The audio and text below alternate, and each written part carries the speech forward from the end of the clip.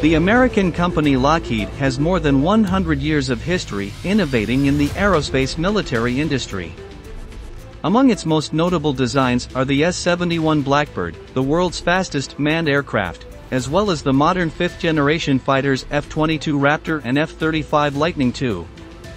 However, the company has also sought to distinguish itself over the years in the commercial aviation sector, and that's how we come to the striking concept that emerged in the 1980s with the title of Lockheed Transport Ringwing.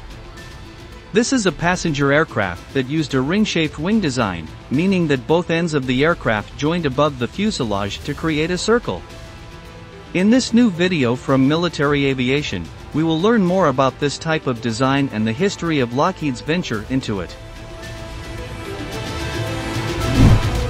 To begin, it's better to delve into the intriguing concept of a ring wing and the origins of Lockheed's idea for their passenger aircraft.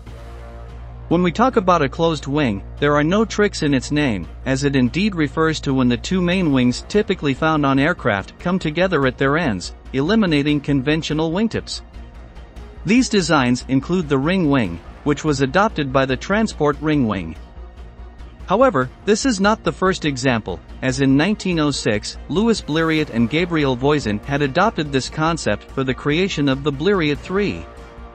The aircraft was built with a lifting surface consisting of two tandem-mounted ring wings, while years later, the Blériot 4 replaced the front ring wing with a biplane and added a canard foreplane to turn it into a three-surface aircraft. While it was able to leave the ground in short hops, it couldn't avoid suffering irreparable damage without achieving the expected success. Nevertheless, the idea was not a complete failure. Cedric Lee and G. E. Tilghman Richards took over to build and fly several ring-wing aircraft in which the front and rear segments were at the same level. The first was a biplane, and they continued with a series of monoplanes that remained in use until 1914. Further in time, World War II saw the work of the German designer Ernst Heinkel, who began working on a versatile single-seat ring-wing aircraft called the Lerche. The goal was to have an aircraft that could take off and land vertically, but the project was soon abandoned as unfeasible. In the post-war era, the French company Snecma developed the Coleoptera with the same idea of having a single-seat ring-wing aircraft for vertical takeoff to eliminate the need for a runway. In this case, it proved to be dangerously unstable despite the development and testing of several prototypes, and again, it was a design that was abandoned. Now, we arrive in the 1980s, and a giant like Lockheed brings the concept back to the discussion table. The company needed a new design idea to compete with MD and Boeing for the title of the world's best commercial aircraft manufacturer. With that goal in mind, they approached aerospace engineer Rollo Gordon Smethers Jr., known for his innovation in envisioning the aircraft of the future. Soon, the combination of these elements bore fruit. The Lockheed Transport Ringwing is a unique aircraft with circular wings that form a perfect circle around the fuselage. The aircraft was 52 meters long with a wing circumference of 7.4 meters.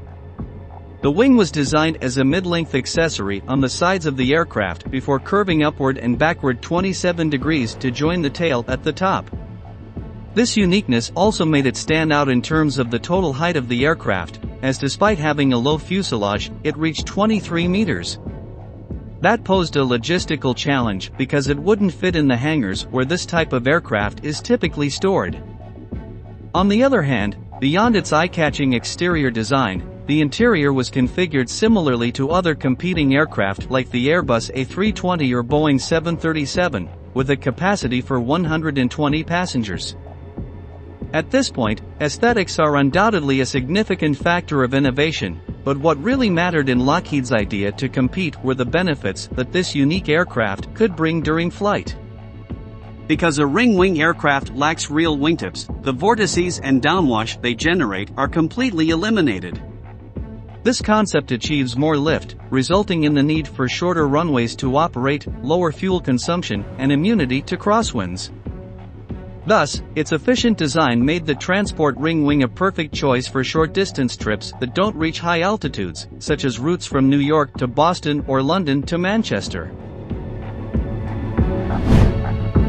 So, if this aircraft generated more lift, lower fuel consumption, and was touted as the future of aeronautical design for being more efficient than others, why did the circular wing aircraft never see the light of day? The truth is that it's not certain if any airline seriously considered the possibility of adopting this intriguing concept and bringing it to reality. However, what is certain is that the ring wing never went beyond wind tunnel tests. This is because a closed wing system has several significant disadvantages, despite its important advantages. The first drawback of this concept is that it experiences higher parasitic drag, which is produced by all those parts of the aircraft that do not contribute to lift. In this case, the weight of having another complete wing on top only adds to the need for more fuel. Furthermore, the design requires careful work to avoid issues like flutter and boundary layer separation, aerodynamic concepts of these large vessels that can jeopardize flight. There is also something called wing twisting, where it can be noted that in traditional aircraft, the wing is not flat but slightly twists away from the fuselage, specifically for the angle of attack.